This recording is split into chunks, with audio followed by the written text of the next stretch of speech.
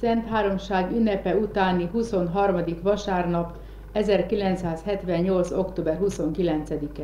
Kegyelem ti néktek és békesség Istentől, ami atyánktól, és ami Urunktól, Jézus Krisztustól. Amen. Hallgassátok meg testvéreim a mai vasárnap evangéliumi szentigéjét, amint János evangélium a 17. részében a 11. verstől a 19. versig van megírva.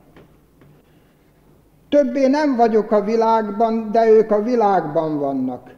Én pedig te hozzád megyek.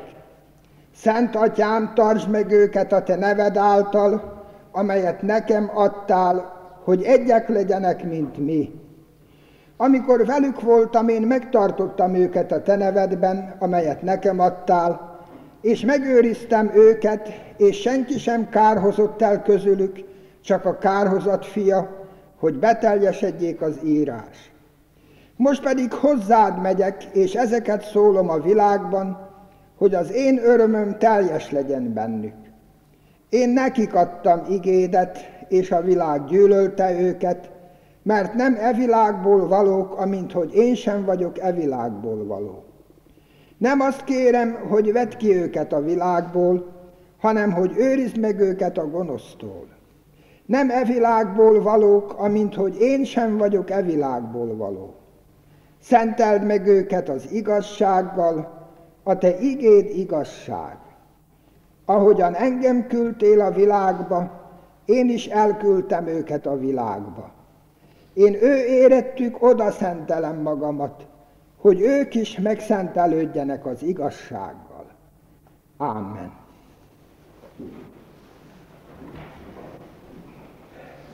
Szeretett testvéreim, imádság részletet olvastat ma egyházunk a gyülekezet előtt. Részletet Jézus főpapi imádságából.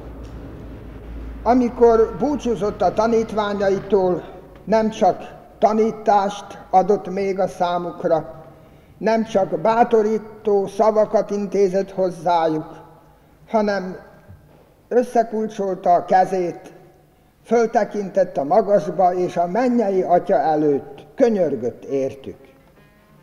Imádságába foglalta az itt maradó tanítványokat, de nem is csak őket, hanem azokat is, akik az ő nevük, az ő szavukra majd hisznek Istenben.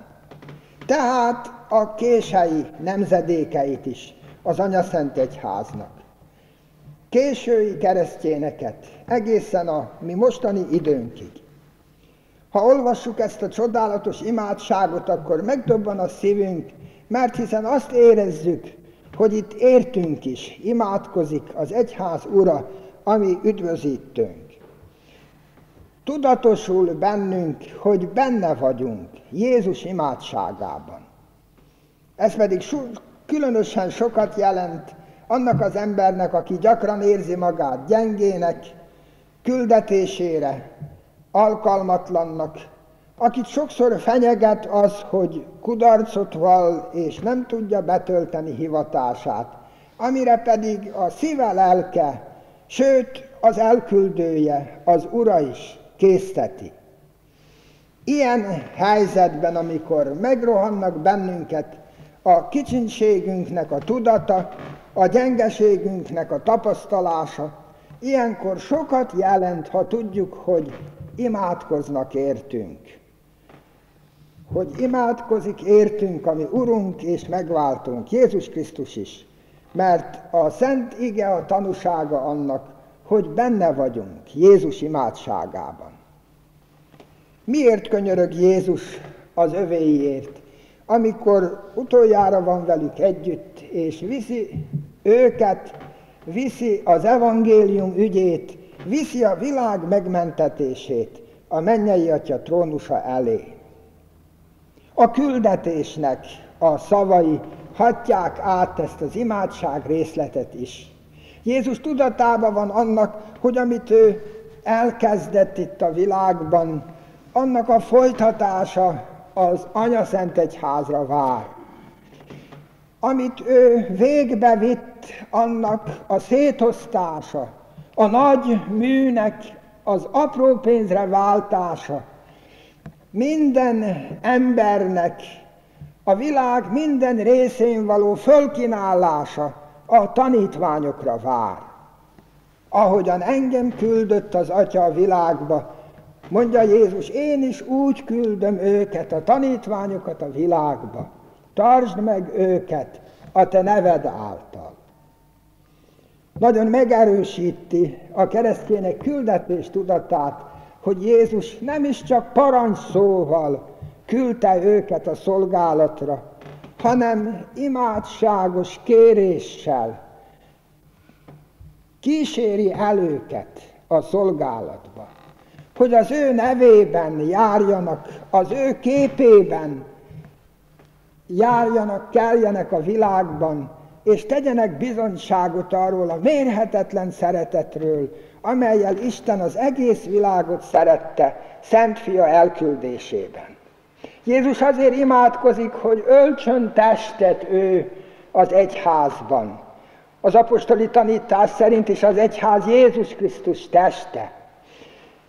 Valósuljon az ő munkája, mentő szeretete, sok jó tette a tanítványoknak a tettében, cselekedetében, életében. Hogy Jézus Krisztus lehessen valóban élő, azután is, amikor műve befejeztével meghalt és föltámadott, és a mennybe ment, azután is élően és elevenen munkálkodjon a világban, az Anyaszent Egyházon keresztül. Nagyon jól megragadja, kifejezi ezt a küldetését a keresztényeknek egy másik imádság, késői mai, ma élő keresztényeknek az imádsága, amelyikben megcsendül az, hogy megértették a küldő szót, és szeretnék szívük egészével teljesíteni ezt a küldetésüket. Így hangzik ez az imádság. Jézus Krisztus, felkent királyom, lépj ki a Bibliából, kezeim tetteivé, lábaim lépteivé, ajkam igazmondásává, az én még teremtményeid ölelésére. Hiszen te bennünk, minnyájunkban lélegzet visszafolytva felét tárulásunkra vársz. Szálljon ez az ima Isten dicsősége színe elé. Amen. Ez az imádkozó is átérzi, hogy a Jézus Krisztustól kapott nagy és csodálatos küldetés nem emberi igyekezettel, emberi erővel, emberi odaszánással lehet megvalósítani, hanem csak azzal, ha valóban ő tölt testet bennünk is. Ő veszi föl a mi egyszerű tetteinket, hogy azon keresztül melegét, szeretetét sugározza bele a világba hogy ő nem marad a Bibliának betűkbe öltözött Krisztusa, hanem lesz a tanítványoknak cselekvő, szolgáló Krisztusává. Kezeim tetteivé, lábaim lépteivé, ajkam igazmondásává, az én szelítségemmé más embereknek az ölelésére, ahogy idézem újra az imádságból. Jézus nyilván arra küldi az övéit, amit ő is teljesített, hogy tegyenek bizonyságot arról, hogy szeret az Isten, boldogulásunkat akarja, úgy, ahogy az előbbi énekben is énekeltük. De azt akarja, hogy ez ne terhes küldetés legyen, ami alatt vergődik a gyenge emberi lélek, hanem legyen örömteli küldetés. Ezért beszél arról, hogy az ő örömét önti ki a tanítványokra, hogy az ő öröme legyen teljes bennük. Ne csak parancsszóra, ne csak küldetés tudatból, kötelességből szolgálják Jézus Krisztussal és Jézus Krisztusban a, az emberek megmentését, hanem fölszabadult örömmel, amelybe újra ott cseng Isten Szent Fia földön jártakor is annyiszor megmutatkozott örvendezése azon, hogy az evangéliumot szólhatja, és által szomorúságot, gyászt és szenvedést szüntethet meg. Ezért az örömér is könyörög Jézus. És ennek az örömnek a színes elénk tárulása is áll előttünk egy következő kis meditációban. Az öröm nem az a sarok, amely megvéd a hidegtől és a széltől és az élettől. Az öröm nem nyugszik egy helyben, hanem az öröm jár, az öröm költözködik, az öröm nem telepszik le. Az öröm a gyermek öröme, aki mennyei atyáról énekel, tudva, hogy ő közel van, mint amilyen közel van az élet. Az öröm nem is csak tényleg egy ilyen magános elmélyedés, külön titkos nyugalom és csend, amiben a szív és a lélek békélten örvendezik, hanem az öröm mozgás, az öröm úton létel, az öröm szolgálat. És amikor Jézus azt mondja, hogy az én örömem legyen bennük teljessé, akkor ezt a mozgósító erőt kéri a mennyei atyától a tanítványai számára. A mindig úton lévő, mindig helyet változtató, mindig új célpontot kereső, a mindig szolgáló örömöt, ami egy az élettel, hiszen örömmel szolgálni azt az Urat, aki olyan közel van, mint az élet, amely bennünk virul, van közel, és amely által mi lehetünk szolgálatban. És ennek az örvendező küldetésnek a teljesítését azzal is erősíti Jézus imádsága, hogy azt kéri, hogy egyek legyenek. A tanítványai ne szóródjanak szét, induljon ki a maga útjára, teljesítse küldetését ki a saját elképzelése szerint, hanem legyenek egyek, imádkozik Jézus az övéért, mint ahogy mi, az Atya és a Fiú egyek vagyunk. Ezért az egységért is könyörög Jézus, mert tudja, hogy ezzel töltheti be az, az egyház, a hívő nép a küldetését. Szinte nem ártott más annyit a kereszténység küldetésének, mint az egyház szétszakadtsága, szétdaraboltsága, mint a versengő, vetélkedő, sőt sokszor gyűlölködő, egymást megvető keresztény csoportosulások. Sokszor állt meg a kívülálló érdeklődő és tanástalanul, hogy ugyan mi az igazság Jézus Krisztus dolgába, ha egyik így hirdeti, a másik úgy hirdeti. Ha egyik a maga igazát vallja erősen, és ezzel a másikat száfolja, vele vitatkozva. Jézus könyörög az övéért, egyek legyenek, mint ahogy én egy vagyok. Erre is van egy kis versikém följegyzéseimben, amelyik külön is odaillik ma a bizonyságtétel szavába, amikor ősz van, amikor temetőket járunk, amikor előre ment kedveseinkre is emlékezünk, és közben tudatosul bennünk, amiért Jézus imádkozott, az egyház egysége is. Egy napon a nyírfa sárgára vált, egy reggelen majd mi is, ez bizonyos, Krisztus dicsőségébe öltözünk, és meghajtott homlokkal ámulva keressük testvéreinkkel együtt az utat, amelyen senki nem jár egyedül, amelyen senki nem téved el.